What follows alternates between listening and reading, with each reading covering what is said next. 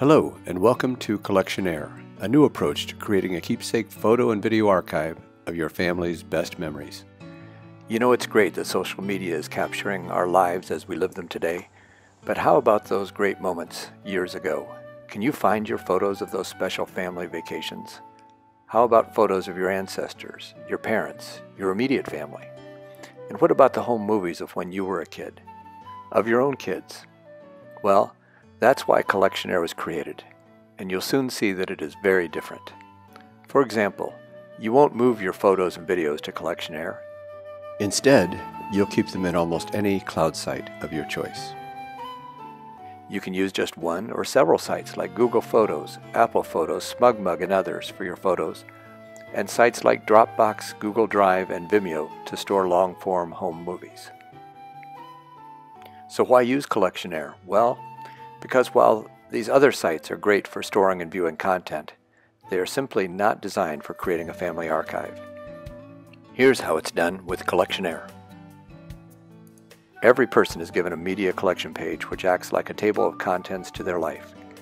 Here, for example, we are creating a legacy tribute to our late beloved mother and grandmother Loretta. Her collection has several levels of detail. We first see a narrative of Loretta's life written a few years ago by one of her grandchildren. We then move to her primary collection, starting with chapters and within each chapter, entries. Clicking an entries preview image links you directly to your content in one of those other cloud sites. Here, for example, clicking on early years links us to an album in Flickr where we see 41 photos of her childhood. Scrolling down and clicking here takes us to Google Photos, where we've saved a photo archive of her antiques and heirlooms, many of which date back over a century. Our linking system even allows us to use any of dozens of special web products and apps. Here we link to a product called Yumpu to see a flip book we created of Loretta's early years. If we back up a level in Collectionaire, you'll see that Loretta's page was just one of many, and your family tree becomes a hub to all family members. Clicking on any person in the tree takes you to their collection.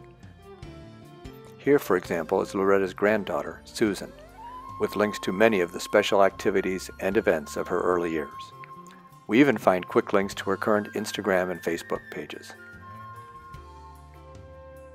Going back to the family tree, we see that there's a circular link icon connecting each couple. Clicking here takes you to the couple's collective family page, where you'll assemble the best of a family's memories together, from home movies and vacations to special events and holidays. Here in William and Loretta's family collection, we see a home movie from a 1964 family trip to Yellowstone. From its description, we see what it contains, so clicking to the video and scrolling to minute 26, we see in the movie where they saw bears for the first time. Lastly, each time you log into your account, you'll see this screen, which shows your collection and those that you have permission to view. You can likewise share your collection with friends and family, and simple permission settings give you complete control over which media items you allow others to see and which stay private. You can even grant edit privileges. Well, that's our quick overview. We hope you'll give Collectionaire a try. You can begin now by creating a free account and then starting to add a few family members and links to photos and videos.